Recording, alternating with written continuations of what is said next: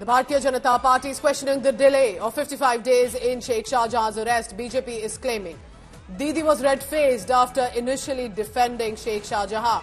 But Shahjahan is not the only criminal in Bengal. Bengal is not safe under Mamata Banerjee.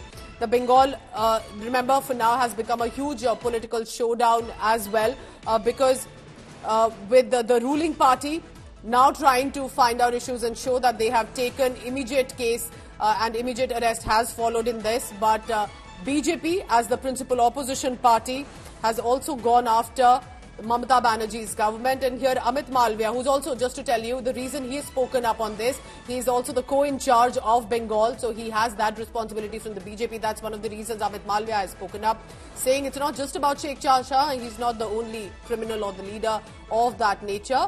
The whole state is unsafe under Mamata Banerjee's rule.